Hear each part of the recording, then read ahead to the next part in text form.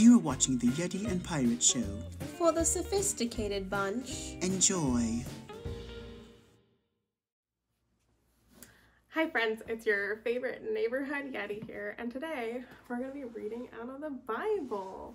Um, so yesterday, our friend was on Instagram and he asked um, all of you guys what your favorite verse was, and one of our friends, Odessa, said her favorite verse was Deuteronomy 31 6. And we looked that up and we thought that'd be a good verse to share with all of you guys. So I'm going to read it. It says, Be strong and courageous. Do not be afraid or terrified because of them, for the Lord your God goes with you. He will never leave you nor forsake you. Um, what this is talking about, quick backstory. Moses is saying this, and he's saying it to the people of Israel. Um, Moses has been leading these people for about 40 years. They're, they're, they're searching for the promised land, um, and they're coming out uh, on all this area where there are other people living, other nations, other kings, other armies, all the things. So they're looking for the promised land, and Moses is telling them, do not be scared of where you're going, whether or not you're walking into an area of people who follow God or people who practice other religions, because God will take care of it for you, and God is with you, and He will never leave you, and He will not forsake you. He's also really old at this point. He's 120. He knows he's going to be dying soon. And he's telling Joshua, who is going to be succeeding him, he's going to be taking care of the people of Israel. Um, he's telling Joshua this as well. Because Joshua was kind of someone who was a bit more fearful and he didn't have a lot of courage and he was scared to lead the people. But Moses knew that he was going to be okay because God said this to him. Um, and so this is not only to the people that Moses was leading, it's also to Joshua. It's be strong and courageous. Do not be afraid or terrified because of them, for the Lord your God goes with you. He will never leave you nor forsake you. So uh, the Yeti and Pirate Dave have been doing some of Pirate Dave's homework, and we've been learning a little bit about some primates and monkeys. And I was thinking about this, and this verse works for what we call a proboscis monkey. Um, they're the monkeys with the really weird giant noses. Uh, so these monkeys live primarily in trees. Um, they're pretty big, they're really lanky. They live in these trees and they live in an area of the jungle where once they've depleted a tree of food, they have to go and find other trees to eat from. But in the area of the jungle that they live in, there's these rivers that are just swimming with different snakes and mainly alligators.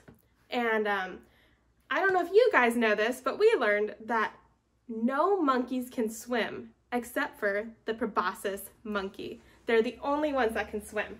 And instead of being scared, these monkeys will climb up on the top of the tree and jump as far into the river as they can.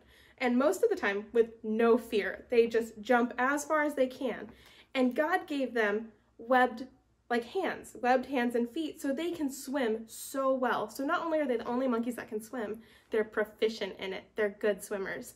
And they're so fearless that they will sometimes hold their babies on them in on the front or on their back when they jump into the rivers and swim to get to the other side so that they can feed their young as well.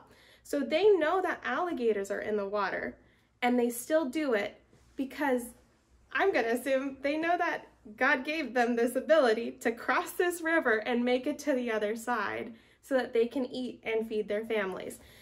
So if we compare that to the verse um, and what we just talked about, if we say that we're the monkeys, which some leaders might be some monkeys today, but if we say we're the monkeys, and the nations that Moses is telling people and God's telling Moses to tell his people to not be scared of are the alligators in this river, these monkeys are jumping into that river fearless and they're going where they know they need to go. And we need to live our lives the way God tells us to, but also maybe like these monkeys. We don't really know exactly what God wants us to do right now, but we can be strong and courageous, not have fear in our hearts right now because we know God is with us and he will never forsake us. So keep that word in your hearts today, friends. I know that we all feel alone right now, but we are not. We are all together. This is making our community so much stronger. We're finding so many ways, and it warms my heart to see all you guys find ways to love on each other. So keep doing it. I love you guys. I miss you guys. And Pirate Dave misses you, and he might pop in to teach you how to draw something pretty fun, fearless, and special. Ah, bye, friends. Did someone say Pirate Dave? What's up, dorks? Axel here. Uh, I mean, what's up, scallywags? Pirate Dave here. And today I'm going to teach you how to draw a cool little monkey that's pretty fearless. So what you're going to need, if you're a true scallywag, is some paper and you're going to need a pen. So are we ready, Yeti? Yep. Let's do it. All right, scallywags, we're gonna draw a proboscis monkey. So here's what we're gonna do. I'm gonna give it a big old head right here. That's gonna be his hair. And then he has this huge nose, because that's what they're pretty much known for. And I get a little bit of lips. And here's his eyeball. Pretty spooky so far. And then I'm gonna draw his body. His tummy goes out like this. Here's his arm, and he's doing a big old leap. I'm gonna him a little bit more hair. And then he's got his other arm in the background coming. And he's got his legs jumping, making that leap of faith, baby. He's got another leg because he's doing the jump. And you know, if you have one leg, you can't really jump. And then he's got a really long tail jumping in. And now for the most fun part. Remember we talked about how they always have babies on them sometimes? Well, I'm gonna draw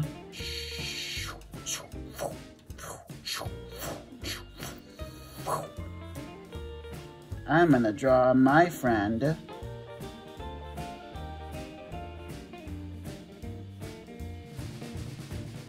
my friend, get ready, get ready, get ready, my friend Jody. Jody is the proboscis baby today, and that's her on the back just flying in the wind. We're gonna give her some cool pants, and she really likes to wear some uh, cool Gucci slips, so we're gonna give her those as well.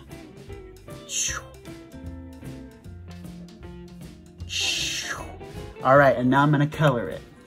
So, proboscis monkeys are a little bit uh, brown, a little bit orange, and a little bit tan, or peach color, I guess you can say. So I'm gonna color him in.